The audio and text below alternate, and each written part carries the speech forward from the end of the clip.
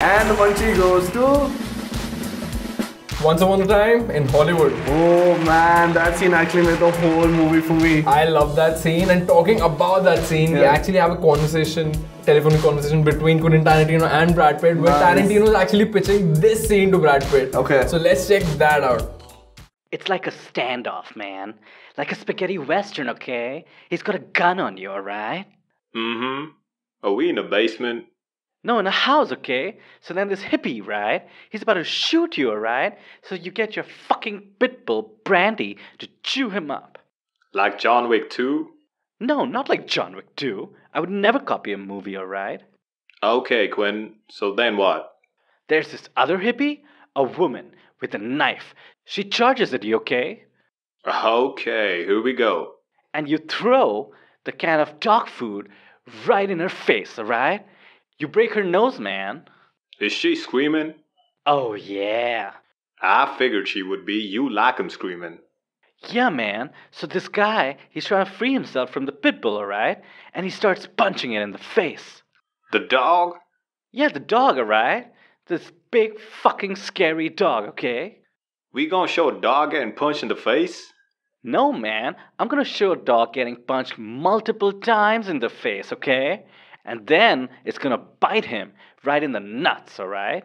That seems fair. And I'm just watching all of this? Well, the other hippie, she's still around. You remember her, right? You broke her nose earlier? She's crawling on the floor now, alright? And for some reason, you want Brandy to rip her eyes out. Oh, like Kill Bill? No, not like Kill Bill. I would never copy a movie, alright? Okay, Quinn. And the dude? You remember the dude, right? He had a pit bull on his nuts? He has a knife now, right? He lunges at you with the knife, and you stab him and break his leg. Alright. And then you stun him with a palm strike to the head, alright? Alright. and then you go over to him and lift your foot and stomp his face right into the ground, alright? It explodes. Whoa.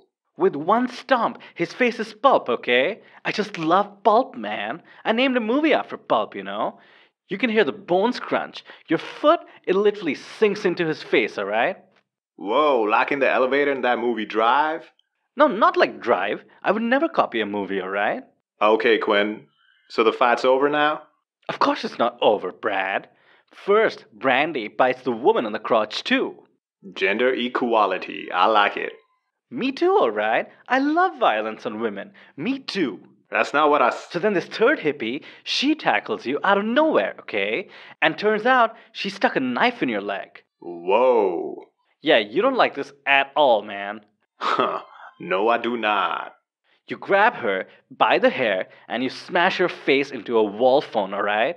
Doesn't it break the phone? No, it breaks her face, okay? Then you do it again, twice. Cool.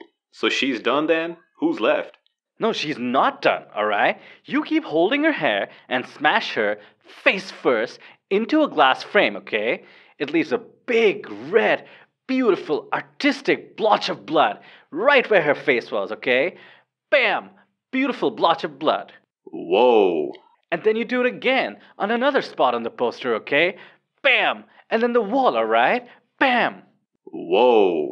And then the mantelpiece, alright? Bam! Bam! Bam! Three more blotches?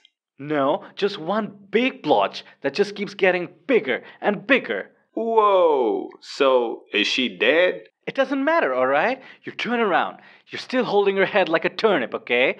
And you set up a table. And then bam! Face the table. Bam again. Bam once more.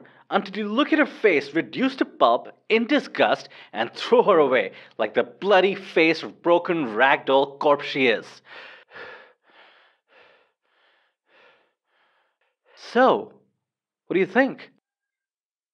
Can I be on acid while I do it?